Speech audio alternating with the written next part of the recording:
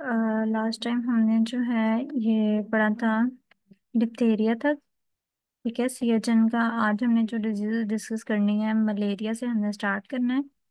और नेक्स्ट जितनी भी आपके पास ये कम्युनिकेबल डिजीजेज हैं, उनका पैटर्न जो है ना, वो ऑलमोस्ट सेम है, ठीक है? मतलब हर एक डिज़ीज़ में आपने पहले एपिडेमियोलॉजी को डिस्कस करना होता है।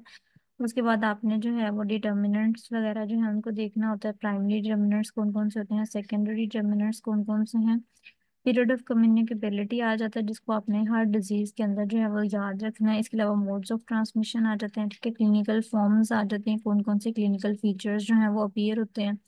और लास्ट में आपके पास जो है ना डायग्नोसिस और ट्रीटमेंट जो है, इसकी ऑप्शन आती है। तो तकरीबन जितने भी हमारे पास यहाँ पे कम्युनिकेबल डिजीजेस हैं, उन सबका पैटर्न जो है वो यही है, ठीक है? पैटर्न सेम है। अब देखिए, अगर हम मलेरिया की बात करें तो इसमें हमारे पास जो मेन मेन चीज़ें हैं, हम उसको डिस्कस करेंगे ताकि हम नेक्स्ट जो है वो जल्दी मूव ऑन करें। मलेरिया एक डिज़ीज़ है जो कि जीनस प्लाज्मोडियम से होती है। ठीक है, पहले आपने जो चीज़ अंडरलाइन करवा रही हूँ अंडरलाइन करनी है। जीनस प्लाज्मोडियम से जो है वो मलेरिया की डिज़ीज़ और ये ग्रुप ऑफ़ डिजीजेज है। ठीक है सिंगल डिज़ीज़ नहीं है, बल्कि एक ग्रुप है प्रॉपर जो कि जीनस प्लाज्मोडियम से जो है वो स्प्रेड होता है। अगर हम डिस्ट्रीब्यूशन की बात करें तो इसकी मैक्सिमम प्रेवलेंस जो है वो जुलाई टू नवंबर में होती है। मतलब जुलाई टू नवंबर के महीने में ज़्यादा जो है वो इसका स्प्रेड होता है। टेम्परेचर इसके लिए कम twenty to thirty degree centigrade जो है वो ऑलमोस्ट चाहिए होता है। ठीक है, और मॉस्किटोज वगैरह जो होते हैं, वो सिक्सटी परसेंट ह्यूमिडिटी जो होती है, वो रिक्वायर्ड होती है, जिसमें मलेरिया जो है, उसके स्प्रेड होने के ज़्यादा चांसेस होते हैं। ठीक है? अगर हम प्लेस की बात करें तो उन एरियाज़ में जहाँ पे हैवी रेनफॉल होती है, पानी ज़्यादा खड़ा होता है, वहाँ पे जो है, वो मलेरिया के होने के ज़्यादा चांसेस होते हैं। ठीक है? वहाँ पे उनकी ब्रीडिंग के ज़्यादा चांसेस होते हैं। इसके अलावा वहाँ पे उनके स्प्रेड के ज़्यादा चांसेस होते हैं। अगर हम पर्सनस की बात करें तो एज में तकरीबन सब एजेस को जो है, वो ज़्यादा इफ़ेक्ट करता है वो, लेकिन यह कि जो न्यू बॉर्न होते हैं उनके अंदर क्योंकि फीटल हीमोग्लोबिन ज़्यादा होती है इस वजह से फीटल हीमोग्लोबिन ज़्यादा होने की वजह से न्यू बॉर्न इन्फेंट्स को जो है वो मलेरिया ज़्यादा इफ़ेक्ट कर सकता है ठीक है? मेल्स होते हैं उनका ज़्यादा रिस्क होता है एज कंपेयर टू फीमेल्स और जेनेटिक में अगर हम देखें तो जिनके अंदर सिकल सेल हीमोग्लोबिन होती है उन इंडिविजुअल्स के अंदर लेस कॉमन होता है मलेरिया एज कंपेयर टू जिनके अंदर हमारे यानी नॉर्मल एडल्ट हीमोग्लोबिन जिनके अंदर होती है उनके अंदर जो है वो ज़्यादा मलेरिया से इफ़ेक्ट होने के चांसेस होते हैं। जबकि वो वाले इंडिविजुअल जिनके अंदर सिकल सेल हीमोग्लोबिन होती है उनको जो है वो मलेरिया कुछ नहीं कहता ठीक है?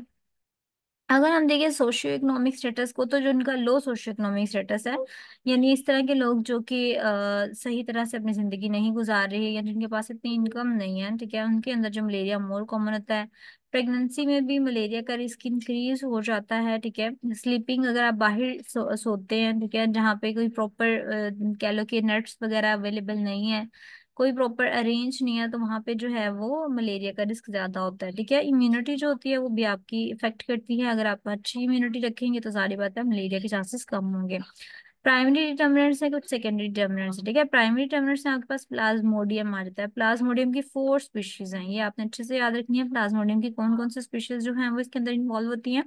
हमारे पास फोर स्पीशीज आते हैं plasmodium falciparum plasmodium malariae plasmodium ovale और प्लाज्मोडियम विवेक्स ठीक है? ये चार आपके पास जो है ना, ये स्पीशीज आ जाती हैं प्लाज्मोडियम की, जिसने मलेरिया को जो है वो कॉज करना है और प्राइमरी डिटर्मिनेट्स में आते हैं। फेल्सीपेरा में आपको पता है मेलिग्नेंट मलेरिया कॉज करता है। मलेरिया वाला जो है, वो क्वाटेरियन मलेरिया कॉज करेगा। ये बिनाइन में आता है। बिनाइन मतलब जो इतना ज़्यादा हार्मफुल नहीं है। मेलिग्नेंट मतलब जिसके स्प्रेड होने के ज़्यादा चांसेस होते हैं, ठीक है? प्लाज्मोडियम विवेक्स है। इसके अलावा कुछ मॉस्किटो की जीन्स जो कि रिस्पॉन्सिबल होती हैं, उनमें दो एनोफ्लीज हैं। एक एनोफ्लीज कुल्सी फेशियस है और एक जो एनोफ्लीज है वो स्टीफेंसी है, ठीक है? ये मोस्टली जो रूरल देहात वगैरह में होती है और ये हमारे पास शहरों में होती है, ठीक है? एनोफ्लीज स्टीफेंसी जो है। तो हमने जो प्राइमरी डिटर्मिनेंट्स पढ़े, उनमें हमने चार स्पीशीज पढ़ ली जो कि प्लाज्मोडियम की हैं और दो स्पीशीज पढ़ ली जो कि एनोफ्लीज की हैं, ठीक है? इसके बाद आपके पास सेकेंडरी डिटर्मिनेंट्स आ जाते हैं। सेकेंडरी डिटर्मिनेंट्स में मतलब कुछ इस तरह की चीज़ें जो कि घर, घरों की वेंटिलेशन जो है वो ठीक नहीं है, ठीक है? एग्रीकल्चरल प्रैक्टिस अच्छी नहीं है। इसके अलावा सोशियो इकोनॉमिक स्टेटस बहुत खराब है, ठीक है? हाई अल्टीट्यूड पे जो है वो आपका घर है या इस तरह के कोई भी कंडीशन है तो ये चीज़ें भी अफेक्ट करती हैं, ठीक है? आगे ना ये फ्रीक्वेंसी ऑफ़ मलेरिया लिखा हुआ है जो कि इतनी इंपॉर्टेंट नहीं है, ठीक है? कभी पेपर में ना पूछी गई है और ना ही आती है, ठीक है? अगर हम इकोनॉमिक डिस्ट्रेस की एमसीक्यूज के हवाले से बात करें तो ये एमसीक्यू शायद कभी पूछा जाए कि मलेरिया जो है वो मोस्ट कॉमन कॉज है किस चीज़ का? इकोनॉमिक डिस्ट्रेस का, ठीक है? पीरियड ऑफ़ कम्युनिकेबिलिटी की इम्पोर्टेंट है। पीरियड ऑफ़ कम्युनिकेबिलिटी क्या होता है जी? ये हमारे पास इतना होता है as long as mature viable gametocyte मतलब जितनी देर तक जो हमारे पास मेच्योर एग है वो एग्जिस्ट करता है किसके अंदर ब्लड के अंदर प्रेजेंट होता है तो हम कहते हैं उतनी देर तक हमारे पास जो है वो मलेरिया के एग्जिस्ट करने के मलेरिया के जो है वो स्प्रेड करने के चांसेस ज़्यादा हैं ठीक है? वेक्टर ट्रांसमिशन होती है वेक्टर ट्रांसमिशन हम कहते हैं कि अगर आप मतलब कि जो मॉस्किटो है उसने जो है वो इन्फेक्ट किया ठीक है? बाइट किया जो फीमेल एनोफिलिस मॉस्किटो है, मच्छर ने काटा है, उसके थ्रू ट्रांसमिशन हो सकती है। डायरेक्ट ट्रांसमिशन का मतलब ये है कि अगर कोई ब्लड के थ्रू भी ट्रांसमिशन हो सकती है, ठीक है? किसी इन्फेक्टेड इंडिविजुअल का ब्लड जो था, वो लग गया, उसके थ्रू भी हो सकती है। कंजेनिटल मलेरिया होता है कि अगर वो मदर से जो है, यानी इन्फेक्टेड मदर थी, उसका बेबी जो है वो बोर्न हुआ है और उसके थ्रू जो है वो इन्फेक्टेड ट्रांसफ़र हो गया। तो तीन तरह से मलेरिया की ट्रांसमिशन है वेक्टर ट्रांसमिशन यानी मच्छर के ज़रिए डायरेक्ट ट्रांसमिशन ब्लड के ज़रिए, और जो कंजेनिटल मलेरिया मदर टू जो है वो चाइल्ड के अंदर। रिजर्वायर ऑफ़ इन्फेक्शन मैन में भी इसका रिजर्वायर मौजूद है यानी जहाँ पे इन्फेक्शन जो है वो पड़ा रह सकता है। इसके अलावा चिंपैंजीज जो है उनके अंदर भी इनका इन्फेक्शन मौजूद होता है ठीक है? ये कुछ इंक्यूबेशन पीरियड दिए हुए हैं जो आपने ऊपर पढ़ी है ना फेल्सीपैरम मलेरिया उसका कितनी देर तक होता है ठीक है? जो हमारे पास विविक्स है उसका कितनी देर तक होता है? जो हमारे पास ओवेल है सेवनटीन डेज़ क्वार्टेरियन जो है उसका ट्वेंटी एट डेज़ ये हमारे पास इनके इंक्यूबेशन पीरियड लिखे हुए हैं ठीक है? आप बारह चौदह सत्रह अट्ठाईस इस तरह से करके इनको याद कर सकते हैं। क्लिनिकल फीचर्स बहुत ज़्यादा कह लो कि इसके इंपॉर्टेंट होते हैं क्योंकि इसमें थ्री स्टेजेस हैं जो कि उन्होंने बताई हुई हैं, ठीक है? और ये मतलब काफ़ी इंपॉर्टेंट हैं। जैसे कि क्लिनिकल फीचर्स में देखें typical attack comprises three successive stages cold stage सबसे पहले आपके पास कौन सी स्टेज आती है? कोल्ड स्टेज आ जाती है।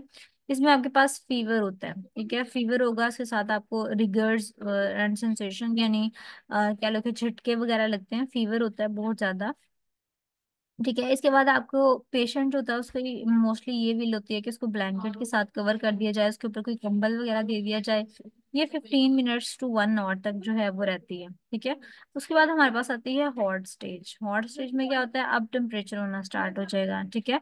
टेम्परेचर इतना ज़्यादा होगा कि पेशेंट जो है उसको प्रॉपर फील होता है one zero six degree Fahrenheit तक जो है ना वो आपके पास टेम्परेचर पहुँच जाता है इसका one zero six degree Fahrenheit तक टेम्परेचर होगा patient feel burning hot and cast off his cloth मतलब पेशेंट जो है वो अपने कपड़े भी मोस्टली क्या करते हैं, उतार देते हैं क्योंकि उनको बहुत ज़्यादा फील जो है वो टेम्परेचर हो रहा होता है फीवर हो रहा होता है। हेडेक बहुत ज़्यादा होती है और ये तकरीबन स्टेज जो है वो हमारे पास टू टू सिक्स आवर्स तक जो है वो रहती है। ठीक है, उसके बाद हमारे पास स्वेटिंग स्टेज आ जाती है। स्वेटिंग स्टेज में क्या होता है कि फीवर के बाद जो है फीवर अब डाउन होना स्टार्ट होता है तो उससे स्वेटिंग जो है वो होती है और ये हमारे पास टू टू फोर आवर्स तक जो है वो ऑलमोस्ट रहती है। ठीक है The febrile paroxysms occur with definite intermittent periodicity, repeating every third or fourth day, depending upon the parasite involved. वो कहते हैं मतलब ये जो चीज़ें है ना ये सिम्टम्स है वो mostly three to fourth day पे दोबारा से रिपीट होना शुरू हो जाती हैं।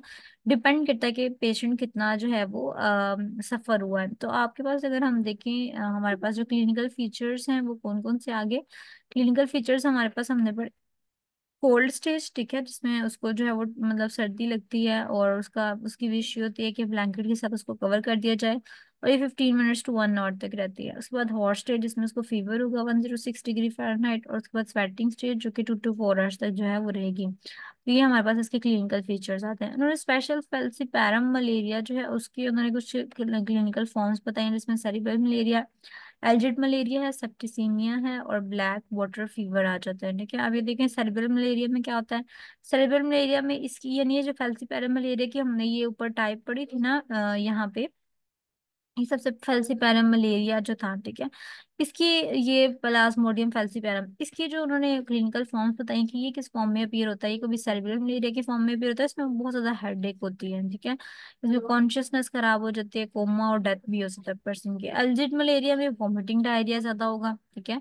ये इसकी कह लेंगे कंडीशन है। सेप्टिसीमिया में आपको पता है इन्फेक्शन होता है तो इन्फेक्शन की वजह से मोस्टली फीवर होता है वोमिटिंग भी हो सकती है रीनल या स्प्लीन भी जो है ना, यानी किडनी और स्प्लीन भी खराब हो सकते हैं सेप्टिसीमिया की, ये एक हिंट है। ब्लैक वाटर फीवर में क्या होता है कि आपकी हिमोलिसिस हो जाती है, यानी ब्लड ब्लीडिंग जो है वो मोस्टली स्टार्ट हो जाती है, इसमें वोमिटिंग होती है। रीनल फेलियर भी हो सकता है हीमोग्लोबिन यूरिया भी हो सकता है, यानी हीमोग्लोबिन यूरिन के थ्रू जो है वो बाहर आना स्टार्ट हो जाएगी, ठीक है? ये ब्लैक वाटर फीवर भी इसकी एक कह लो सिम्टम एक टाइप होती है। डायग्नोसिस आप किस तरह से कर सकते हैं? आपको पता है कि आपने हॉस्पिटल में पेरिफेरल ब्लड स्मीयर वगैरह जो है वो करवाए होते हैं कि इसमें थिक फ़िल्म हो तो आपको पता चलता है कि ये मलेरिया पैरासाइट है कि नहीं, ठीक है? ये पता चलता है और थिन फ़िल्म होती है, उससे ये पता चलता है कौन सा पैरासाइट है, ठीक है? थिक फ़िल्म के ज़रिए हम पता चलाते हैं कि मलेरिया का पैरासाइट है भी कि नहीं? और जो थिन फ़िल्म है उसके ज़रिए हम पता चलाते हैं कि मलेरिया का कौन सा पैरासाइट जो है वो प्रेजेंट है, ठीक है? एंटीबॉडी टेस्ट करवाते हैं मतलब कि अगर तो पास्ट में कोई इन्फेक्शन हुआ हो तो उसका जो रिज़ल्ट होता है वो एंटीबॉडी टेस्ट के थ्रू पता चल जाता है। इसके अलावा आप जो है वो डिप्स्टिक टेस्ट होता है वो करवाते हैं, ठीक है? डिप्स्टिक टेस्ट से भी जो है वो आप डिटर्मिन कर सकते हैं। कि हमारे पास जो है वो इसका है कि नहीं है इन्फेक्शन जो है वो हुआ है कि नहीं, ठीक है? अगर आप डिपस्टिक टेस्ट की बात करें तो डिपस्टिक टेस्ट में देखें यूरिन डिपस्टिक टेस्ट होता है बेसिकली डिपस्टिक जो होती है वो थिन प्लास्टिक की स्टिक है। जिसके ऊपर वेरियस केमिकल्स होते हैं, ठीक है? तो ये जो होता है टेक्नीशियन वो क्या करता है, इसको जो स्टिक होती है, उसको यूरिन के सैंपल में डालता है, ठीक है? उसके बाद इसके कलर चेंजेस होना स्टार्ट हो जाते हैं, ठीक है? केमिकल पैचेस जो होते हैं, उसके ऊपर अपीयर होते हैं और वो किसी एक कलर को जो है ना, वो चुन लेता है, ठीक है? उसके अंदर पता चलता है कि पेशेंट के अंदर ग्लूकोज यूरिन के अंदर वाइट ब्लड सेल्स प्रोटीन या ग्लूकोज कोई इस तरह की चीज़ तो नहीं है, ठीक है? इनके थ्रू जो है ना, वो डिपस्टिक मेथड के थ्रू पता चल जाता है। क्योंकि जिसका कलर मैच हो रहा होता है ना तो उसके थ्रू हम फिर पता लगा लेते हैं कि ठीक है, इसका कलर इसके साथ जो है ना, वो मैच हो रहा है। जैसे मैं अगर आपको एक पिक्चर दिखाऊँ इसकी कि डिपस्टिक टेस्ट में क्या हो रहा होता है, मैं अपने स्क्रीन शेयर करती हूँ और दिखाती हूँ कि डिपस्टिक टेस्ट की किस तरह से होती है। ये देखें, जैसे ये एक डिपस्टिक टेस्ट है, ये एक स्टिक थी, ठीक है? उसके ऊपर उन्होंने वेरियस केमिकल्स डाले होते हैं। जब इसको यूरिन के अंदर डाला जाता है ना तो फिर देखा जाता है, अब देखें ये येलो कलर इसने शो किया, ठीक है? तो आपका ये कलर किसके साथ मैच हो रहा है? ये प्रोटीन नेगेटिव इस कलर के साथ मैच हो रहा है, ठीक है? तो हम कहेंगे कि सिक्सटी सेकंड तक प्रोटीन नेगेटिव ये जो है ना, इसने ये शो किया, ठीक है? इस तरह से ये वेरियस कलर्स होते हैं, इसको मैच करके हम पता लगा सकते हैं कि पेशेंट के जो यूरिन के अंदर प्रोटीन या ग्लूकोज या उसकी पीएच कितनी है, या ब्लड तो नहीं आ रहा, ठीक है? ये सारा कुछ जो है वो हम डिप्स्टिक टेस्ट के ज़रिए पता चला सकते हैं। अच्छा उसके बाद इसका ट्रीटमेंट आ जाता है, प्रिजम्पटिव ट्रीटमेंट होता है मतलब कि हर आप ये कहते हो कि फीवर जो है वो मलेरिया की वजह से हो रहा है तो आपने सिम्टम्स वगैरह को रिलीव करना होता है। डोज देनी होती है, ये हमारे पास मोस्टली जो यूज़ होती हैं, हमने वही जो है वो पढ़नी होती है, फोर अमाइनोक्विनोलिन है, ठीक है, क्लोरोक्विन है, और मोस्टली सल्फाडोक्सिन है या पैरामिथामीन है, ये हमने चार डोजेस जो है वो देनी होती हैं। तो इसके ना ट्रीटमेंट उन्होंने डिफरेंट तरीके से बताए हुए हैं। जैसे कि उन्होंने हर एक जैसे कि अगर आपको विवेक्स मलेरिया तो उसमें आप क्या दे सकते हो? ठीक है, जैसे फैलसी पैरम है, उसमें क्या दे सकते हो? डे वन डे टू पे। और उसके बाद अगर आपको जो ये चीज़ है कि फोर पी फेल्सिपैरम है, उसमें क्या दे सकते हैं आप? सल्पाडोक्सिन पैरामिथामिन मेडिसिन सारी वही होगी, लेकिन जस्ट योगा कॉम्बिनेशन थोड़ा डिफरेंट होगा, ठीक है? ये उन्होंने क्विनीन और क्विनीन प्लस टेट्रासाइक्लिन का बताया हुआ कि आपने क्या करना ये मुश्किल टेबल नहीं है, ठीक है? देखिए eighteen hundred M G eighteen hundred M G eighteen hundred M G eighteen ठीक है? आपने यहाँ पे सारा एटीन हंड्रेड लिखना है। इसमें सिर्फ़ आपने क्या ना one to two gram add करते जाना one to two gram one to two gram one to two gram ठीक है? इस तरह ये टेबल आपको याद हो जाएगा। इतना डिफ़िकल्ट चीज़ें नहीं है जस्ट ठीक है, तुमको लिखा, इस तरह से गया कि बहुत डिफ़िकल्ट लगता है। उसके बाद आपने इसकी प्रिवेंशन कंट्रोल करना क्योंकि यूएचएस के अंदर ये क्वेश्चन काफ़ी दफ़ा आया हुआ है कि what is the prevention and what is the control of malaria ठीक है? और कौन कौन से मेजर्स जो हैं वो लिए गए हैं या अप्लाई किए जा सकते हैं इंडिविजुअल के थ्रू ठीक है? तो ये कि सबसे पहले आप वेक्टर को कंट्रोल करें, मच्छरों को कंट्रोल करें, किस तरह से करेंगे? रिपेलेंट्स यूज़ करेंगे, ठीक है? क्लोथिंग अच्छी करेंगे या हाउसेज वगैरह के ऊपर स्प्रे करवाएँगे, ठीक है? डिस्ट्रक्शन ऑफ़ मॉस्किटो लार्वा जो लार्वा होता है, उसको आपने डिस्ट्रॉय कर देना है। किस तरह से डिस्ट्रॉय करेंगे आप? आप वाटर कंटेनर जो है, उनको इकट्ठा नहीं होने देंगे, इसके अंदर लार्वा को, ठीक है? आप सैनिटेशन अच्छे से करवाएँगे। एडल्ट मॉस्किटो को आप स्पेस वगैरह स्प्रे वगैरह करके रिमूव कर सकते हैं, ठीक है? Source reduction of mosquitoes mosquitoes की आप किस तरह से मतलब उनको कम कर सकते हैं? आप उनकी ड्रेनेज वगैरह हर जगह पर जहाँ पानी खड़ा है, उसको ड्रेन करवा दें। ठीक है measures against malarial parasites chemoprophylaxis करवा सकते हैं, यानी मेडिसिन, ड्रग्स वगैरह यूज़ कर सकते हैं कीमोथेरेपी वगैरह जो है वो आप यूज़ कर सकते हैं, ठीक है? Measures to be applied by the community, अब ये हमारे पास कुछ इस तरह के मेयर्स थे जो कि प्रिवेंशन एंड कंट्रोल में, जो कि इंडिविजुअल्स जो हैं वो कर सकते हैं, ठीक है? ये इंडिविजुअल लेवल पे होने वाले काम थे, ये सारे काम वो हैं जो कि एक इंडिविजुअल जो है वो भी कर सकता है, ठीक है?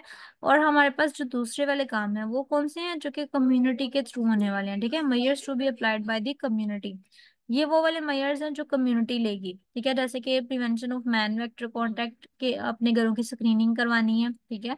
जो एडल्ट मॉस्किटोज हैं, उसको डिस्ट्रॉय करवाना है, स्प्रे वगैरह करवा सकते हैं आप, या कुछ इंसेक्टिसाइड्स यूज़ कर सकते हैं। लार्वा को आपने डिस्ट्रॉय करवाना है, लार्वी साइड साइड होती है, डिस्ट्रॉय करने वाली चीज़ें, ठीक है?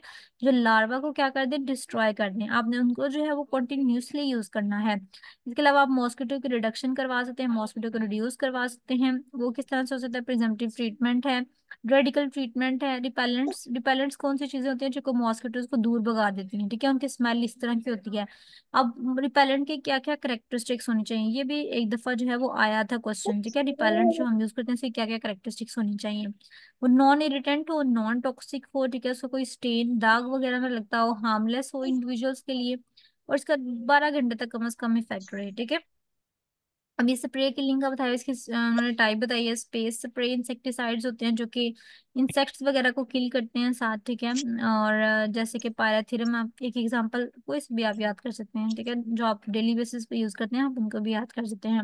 इसके अलावा रेजिजुअल इंसेक्टिसाइड स्प्रे होता है, जो कि हमारे पास prolong the residual killing effect मतलब बहुत ज़्यादा लंबा कर देता है। जो इफ़ेक्ट होता है ना किलिंग का, उसको थोड़ा सा लेंथी कर देता है। जैसे डीडीटी है या बीएचसी है, ठीक है?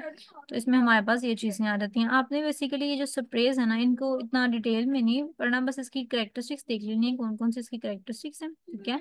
और इसके अलावा आप, ये जो हमने पढ़ा अभी कि ये जो दो तीन चीज़ें, नाम जो है ना, वो आपने डाइक्लोरो डाइफिनाइल ट्राइक्लोरो इथेन ये जो आपको डीडीटी यहाँ पे लिखा हुआ नज़र आ रहा है ना DDT stands for dichloro diphenyl trichloro ethane ठीक है?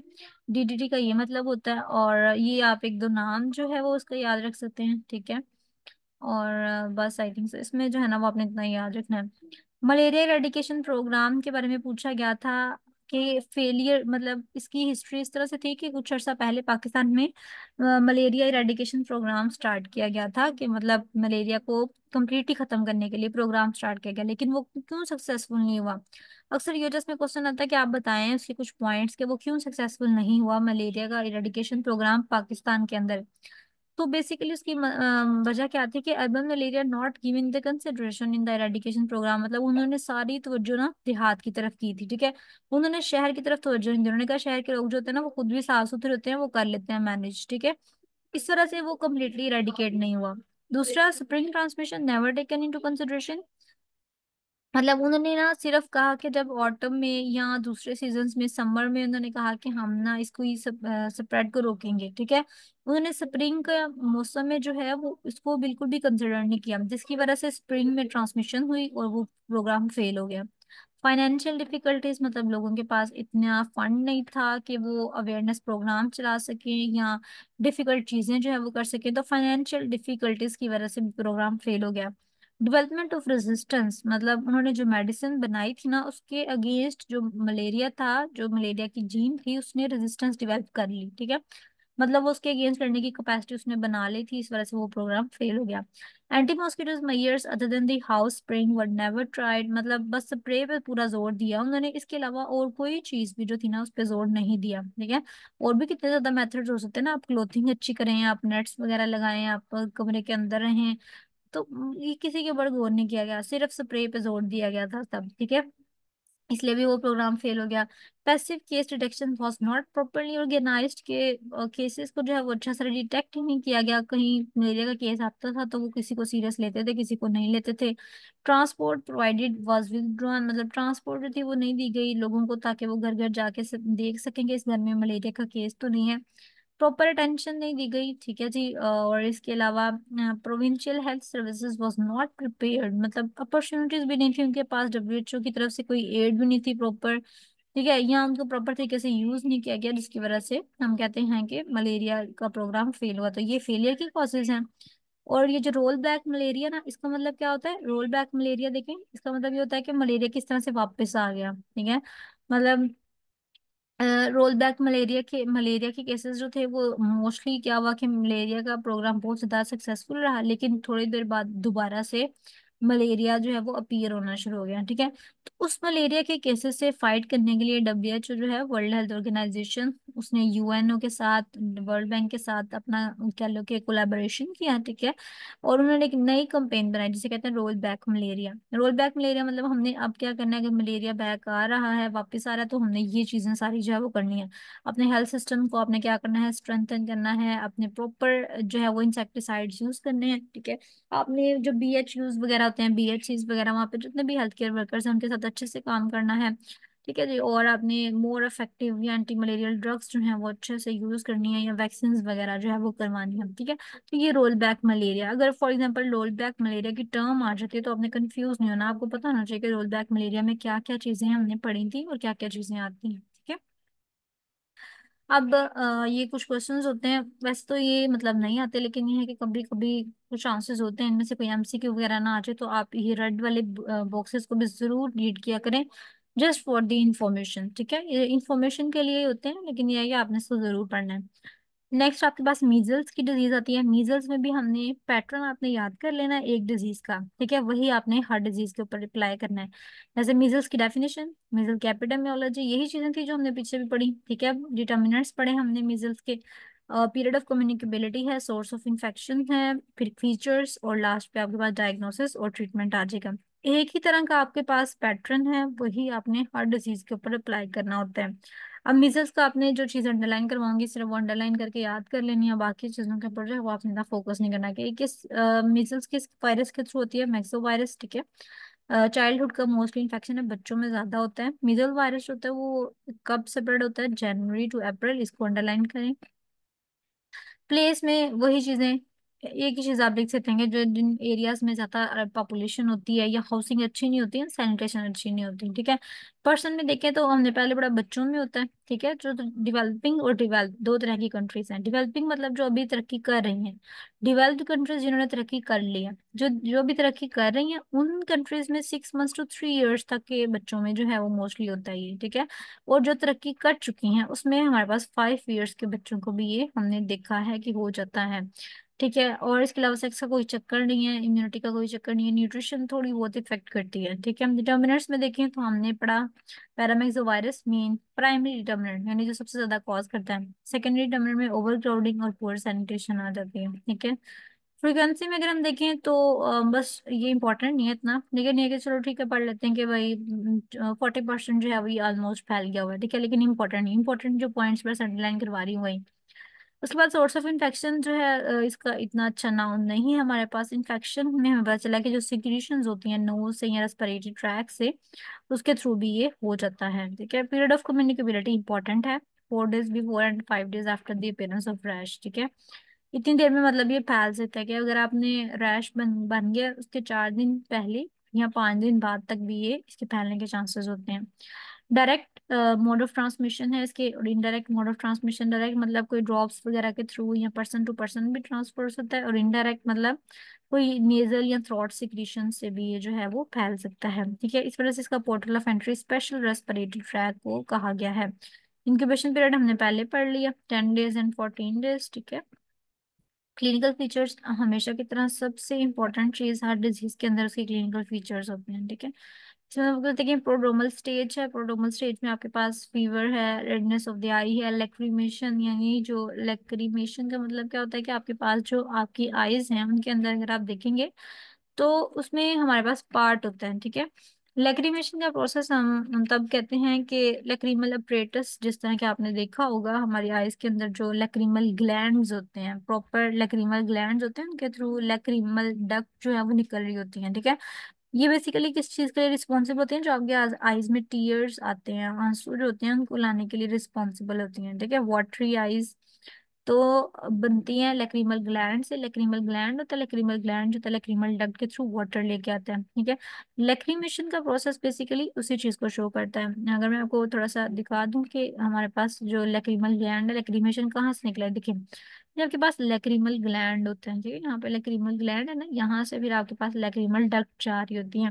तो ये बेसिकली किस चीज़ के लिए जो हमारे यहाँ आईज में टीयर्स वगैरह होते हैं, उन चीज़ को लेके, उनको जो है वो लाने का रिस्पॉन्सिबल होता है।